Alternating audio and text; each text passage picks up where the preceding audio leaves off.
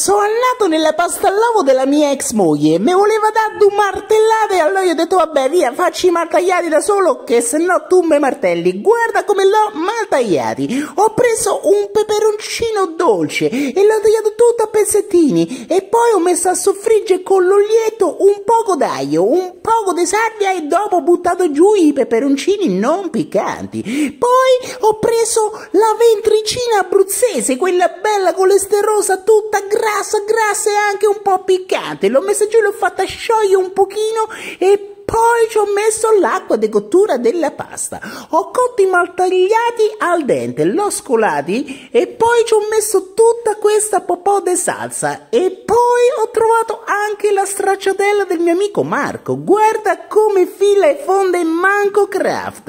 E poi.